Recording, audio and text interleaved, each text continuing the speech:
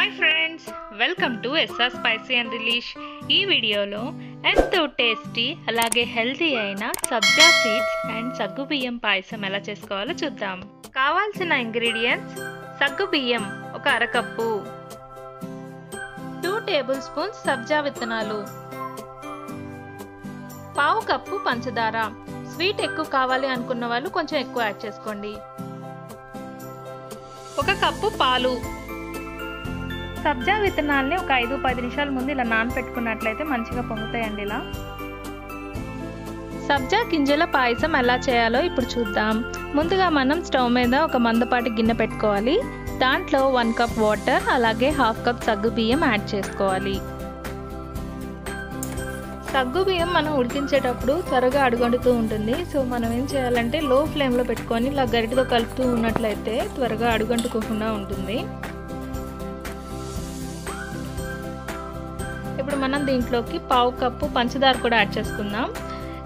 ఎవరైతే స్వీట్ ఎక్కువ తింటారో వాళ్ళు ఇంకొంచెం షుగర్ యాడ్ చేసుకోండి.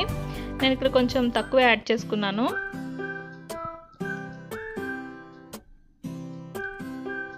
ఇవి ఇంకా బాగా ఉడకాలండి. ఒక దగ్గర దగ్గర ఒక ఇరవై ఐదు నిమిషాలు స్లో ఫ్లేమ్లో పెట్టుకొని ఉడికించాలి.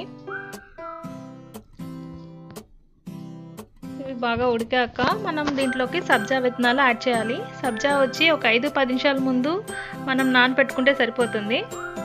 ఈ సబ్జా కూడా యాడ్ చేశాక ఒక టూ మినిట్స్ ఆగి మనం పాలు కూడా యాడ్ చేసుకోవచ్చు. ఇది ఒంట్లో వేడి ఉంటే వేడి వెంటనే తగ్గిస్తుంది. అలాగే చాలా హెల్తీ అండి. టేస్టీగా కూడా ఉంటుంది. మీరు తప్పకుండా ట్రై చేసి మీ ఒపీనియన్ని కామెంట్ బాక్స్లో తెలియచేయండి. ఇప్పుడు మనం పాలు కూడా యాడ్ చేసుకుందాం. అలాగే ఏంటంటే సగ్గుబియ్యం ఉడికినాయో లేవో చూసుకోవాలంటే మనం చిన్న గిన్నెలోకి తీసుకొని దాంట్లో కొద్దిగా పాలు యాడ్ చేసినట్లయితే అవి సగ్గుబియ్యం విత్తనాలు ట్రాన్స్పరెంట్గా కనిపిస్తే కనుక ఉడికినట్లే. అప్పుడు మనం పాలు యాడ్ చేసుకోవచ్చు.